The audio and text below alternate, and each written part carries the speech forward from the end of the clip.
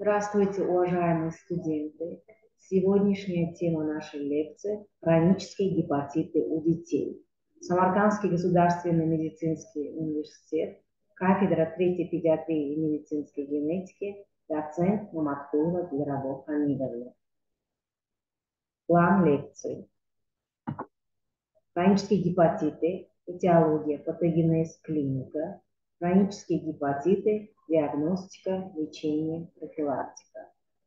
Хронические вирусные гепатиты – это медленная инфекция, вызванная гепатотропными вирусами, сопровождающаяся развитием воспалительного процесса в печени в течение шести и более месяцев, развившейся на фоне генетически детерминированного иммунодефицитного состояния.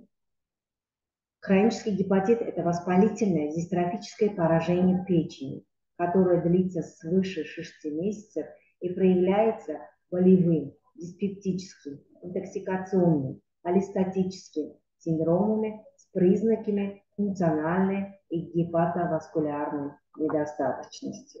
Актуальность. В мире переболели вирусными гепатитами свыше 2 миллиарда людей. Носителями гепатита В есть больше 350 миллионов человек. Около 3% населения планеты – это носители вируса гепатита С. По частоте поражения населения вирусные гепатиты возглавляют второе место после гриппа и ОРЗ. Хронические гепатиты с разной частотой трансформируются в цирроз печени. На этом слайде, значит, видно анатомия печени. Патогенез. Инфицирование вирусами гепатита, которое передается парентеральным путем. Персистенция вирусов в организме больного. Недостаточность синтеза интерферонов гепатоцита. Снижение Т-клеточной и макрофагальной звеньев иммунитета, иммунного ответа. Существование мутантных вирусов гепатита. И вследствие этого деструкция паренхимы печени, воспаление и иммунологические изменения в мезенхиме, нарушение микроциркуляции и развитие холестаза. Внедрение в клетки мишени этих вирусов, вирусемия, формирование иммунного ответа, развитие серозного воспаления в печени, осложнения и исходы. Активность хронического гепатита. Активная фаза, минимальная. Аллат превышает нормальный уровень до трех раз. Умеренная. Аллат превышает нормальный уровень до 10 раз. И выраженная. Уровень аллат превышает нормальный уровень больше, чем в 10 раз. И неактивный гепатит. Стадия хронического гепатита. 0. Нет фиброза. 1. Слабо выраженный перипортальный фиброз. 2. Умеренный фиброз с портопортальными септами. 3. Выраженный фиброз с портоцентральными септами. И четвертое – это цирроз печени. На этом слайде дана структура вируса гепатита В. Здесь строение вируса гепатита С, который состоит из липидной оболочки, это вирусная ДНК из нуклеокапсида и оболочечных гликопротеинов Е1 и Е2. Это генотипы вируса гепатита С. На этом слайде дано, значит, генотипы вируса гепатита С. Вот, пожалуйста, 1А, 1Б, 1С и так далее. На этом слайде изображен структура вируса гепатита D. Значит, электронная микроскопия – это возбудитель вирусного гепатита D, возбудитель вирусного гепатита B и возбудитель вирусного гепатита С. Эпидемиология хронических гепатитов. Источниками инфекции являются больные острыми и хроническими формами вирусных гепатитов, носители гепатотропных вирусов. Пути передачи парентеральные, вертикальные, это интранатальные и трансплацентальные. Факторы, которые способствуют развитию хронического гепатита. Это первое, особенности вирусов, изменчивость этих вирусов, вирусов гепатита В и гепатита С, особенно один бета-генотип. Интеграция ДНК вирусного гепатита В в геном. Внепеченочная репликация гепатита В и С. Слабая иммуногенность гепатита В и С. Второе. Особенности макроорганизма. Это физиологически иммунодефицитное состояние, возраст. При вертикальной трансферсии гепатит Б риск хронизации 80%. Фоновая патология, медицинские факторы, поздняя диагностика острого вирусного гепатита, отсутствие противовирусного лечения у больных острым вирусным гепатитом. Влияние этиологии гепатитов на частоту развития циррозов печени. Значит, острый, э, острый вирусный гепатит Б 10% трансформируется в хронический гепатит а 13-30% трансформируется в цирроз печени. Острый вирусный гепатит D 70-90% трансформируется в хронический, а 70-80% на цирроз печени. Острый гепатит С 60-80% хронический гепатит С и 20% на цирроз печени. Механизм хронизации. Значит, интеграция в геном гепатоцита, гепатита В, снижение продукции интерферона, непеченочная репликация, изменчивость вирусов и прямое цитопатическое влияние на гепатоцит при слабой иммуногенности вируса. Теперь синдромальная модель хронического гепатита. Здесь есть несколько синдромов. Первый синдром – это синдром цитолиза. Это повышение активности АЛАТ, АСАД и прямой фракции билирубина. А синдром клеточно-печеночной недостаточности, снижение уровня альбумина и протроминового индекса. Воспалительный мезенхимиальный синдром характеризуется гепатомегалией, субфибрилитет, появление остроопасных белков, повышение альфа и бета-глобулинов, тимоловой пробы 0,4 единицы, используется для оценки белково-синтетической функции снижения солевого титра 1,6, 2,2 единицы. Следующий синдром – синдром вторичного иммунодефицитного состояния. Значит, микс инфекции, несколько патогенов, изменение иммунного статуса. Аутоиммунный синдром – поражение щитовидной железы, почек, кожи, появление ревматоидного фактора, антитела к ДНК, стереотропному гормону, кардиолипину. И холестатический синдром – это кожный зуд, желтуха и гипербилирубинемия.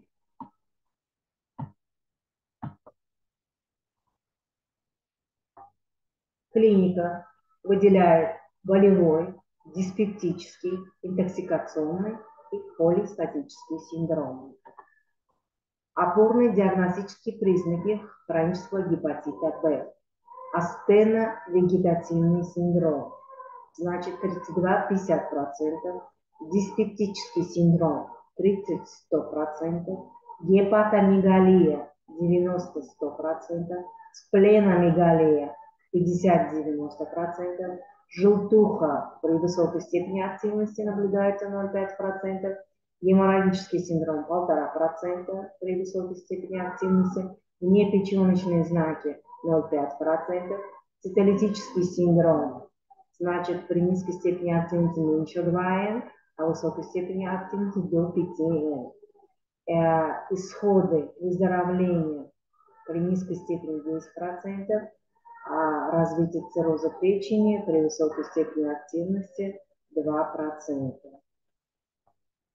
Непеченочные проявления хронического гепатита. Это иммунокомплексное состояние. Папулезный акродерматит, джанотепростин, рецидивирующие дерматиты, геморрагический васкулит, узелковый периартрит, гломерулонефрит, гломерулопатия, нефропатия, доброкачественная артропатия, интерстициальный пульмонит, интерстициальный фиброз легочной ткани, тиреидит, панкреопатия, сиалоаденит, синдром Шегрена и миелосупрессия.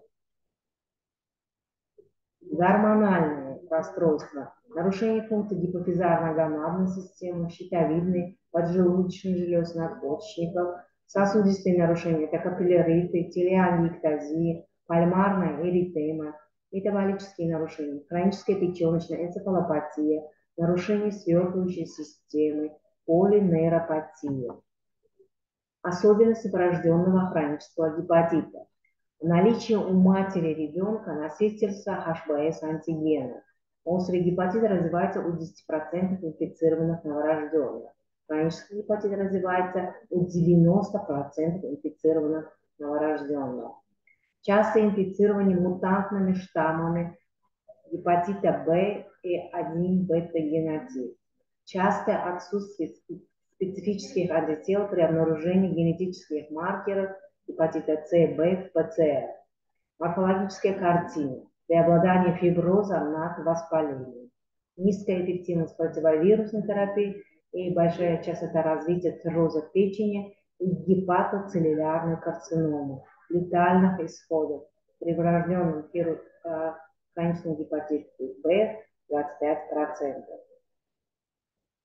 Особенность врожденного хронического гепатита. Нет четкой клиники, умеренная гепатомегалия, редко спленомегалия, диспептический синдром, нет астеновегетативного синдрома, вне печеночных знаков, умеренное повышение АЛА, аламин аминотрансферазы, биохимические обострения. Преобладание фиброза над воспалением, низкая эффективность противовирусной терапии, часто цирроз, карцинома, летальный исход. При врожденном хроническом гепатите B 25%. На этом слайде изображена гепатомегалия, асцит и синдром головой медузы. На этом слайде изображена гепатомегалия и асцит.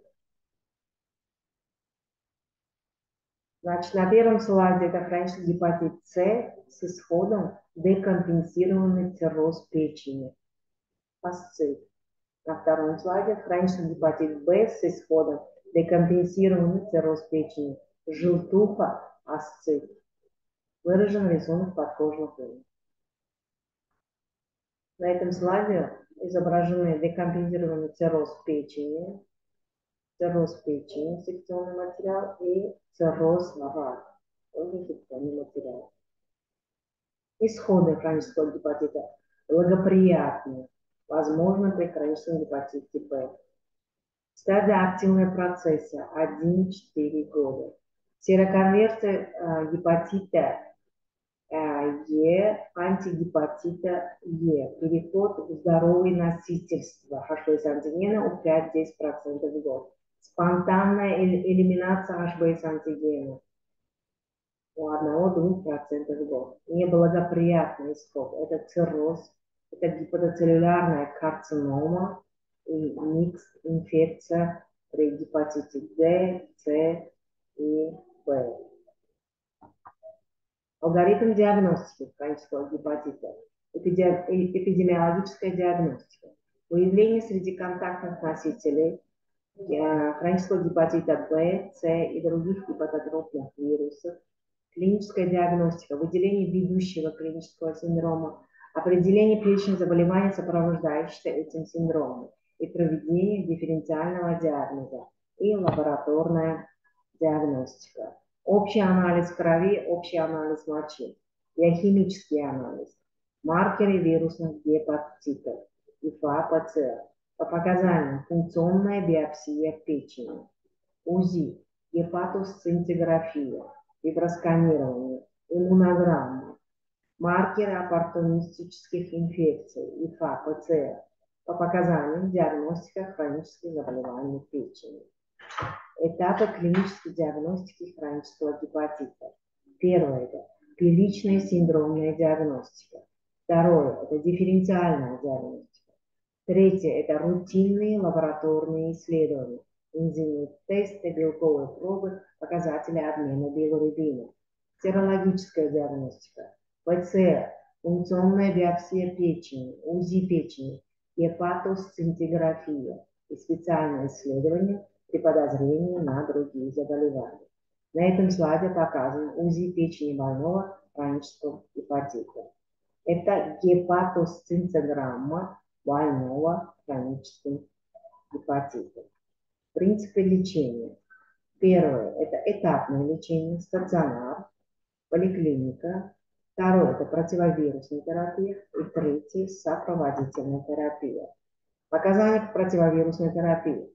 Это признаки активной репликации вируса, высокая биохимическая активность, повышение АЛАС в полтора и более раз на протяжении шести месяцев. Микровоспалительные изменения и фиброз в пунктате печени. При хроническом гепатите С возможно начало лечения при нормальной активности АЛА. При хроническом гепатите В плюс Д лечение начинает после углубленного обследования и функциональной биопсии печени. Основные задачи противовирусной терапии – это подавление активной репликации вируса возбудителя, нормализация активности трансаминаз, уменьшение активности хронического воспалительного процесса в ткани печени, предупреждение прогрессирования процесса и формирования цирроза печени. Значит, препараты противовирусной терапии – это интерфероны, интерферон альфа-2 бета. Дети младше двух лет – свечи лиферон, Дети старше двух лет. Волферон А 3 миллиона единицы, Интрон А, Реаферон ЕСЛипин, Реалдерон, Лайферон и другие. Дети старше трех лет. ПЕК Интрон по 50 миллиграмм. Вироцидные препараты. Хронический гепатит Б, ламивудин детям старше трех лет, фосфоглид. Хронический гепатит С, ремонтадин детям старше 7 лет, Значит, рибоберин старше трех лет и фосфоглид. Схемы интерферонотерапии. Монотерапия интерфероном. Это хронический гепатит В, хронический гепатит В плюс Д. По 5 миллионов международных единиц на метр квадрат три раза в неделю в течение 12 месяцев. Хронический гепатит С 3 миллиона единиц на метр квадрат три раза в неделю 6 месяцев или 12 месяцев доказана эффективность ежедневного введения. Второе. Монотерапия ламивудина при хроническом гепатите В 12-24 месяца. Быстро вызывается резистентность. Схема комбинированной терапии. При хроническом гепатите С и ФН интерферон плюс ремонт 1 старше 7 лет, гепатит С и ФН плюс рибовирин старше 3 лет, Б и П плюс ламивудин старше трех лет. А, способ применения рибовирина, препарат. Рибовирин применяется только в сочетании с интерфероном альфа-2 бета или ПЭК-интерфероном альфа-2 бета. Рибовирин применяется детям старше трех лет. Доза рибовирина 15 мг на килограмм в сутки внутрь во время еды. Два приема. Утром и вечером. Показатели эффективности лечения с использованием комбинированной схемы терапии. Через 12 недель вирусная нагрузка снизилась в 100 и более раз по сравнению с исходным уровнем. Через 24 недели РНК гепатита С перестала определяться крови. Курс лечения. Гепатит С. Генотип 1. Год. Гепатит С. Генотип 2 и 3. 24 недели. Гепатит С. Генотип 4 один год. Лечение перинатальных гепатитов. При перинатальных гепатитах используется фиферон. Суточная доза 3 миллиона международных единиц на метр квадрат поверхности тела 10 дней ежедневно, два раза в сутки, затем три раза в неделю. До года. Эфирон 1 по 2 свечи утром и по 1 свечи вечером. С 3 до 5 месяцев жизни эфирон 1 по 2 свечи два раза в сутки. С 5 до 9 месяцев жизни виферон 2 по одной свече два раза в сутки. С 9 месяцев жизни виферон-3 по одной свече утром и по одной свече вечером. Длительность курса при перинатальных гепатитах В и С 6-9 месяцев. На этом слайде, значит, дан алгоритм интерферонотерапии. Сопроводительная терапия хронического гепатита, лечебное питание, охранительный режим, дезинтоксикационная терапия, обильное питье, внутривенная капельная инфуза, гепатопротекторы, урсасан, афито, фосфогли, гиптрал, гипомерц, галстена, желчегонные препараты, фламин, берберин, адсорбенты желчных кислот, холестерамин, билигнин, иммунокоррегирующая терапия под контролем иммунограммы, полиоксидоний, ликопит, витаминно-минеральные комплексы, энтеросорбенты, пробиотики, пребиотики, лечение сопутствующей полиорганной патологии, оппортунистических инфекций. Когда мы снимаем с учета больных, это с хроническим гепатитом В при стабильной полной ремиссии сроком не менее двух лет при исчезновении из крови HBS антигена и появлении анти-HBS. Второе, с хроническим гепатитом D при полной стабильной ремиссии с исчезновением HBS антигена и появлением анти-HBS в течение двух лет. Третье, с хроническим гепатитом С показано постоянное наблюдение даже при полной стабильной ремиссии. Благодарю за внимание.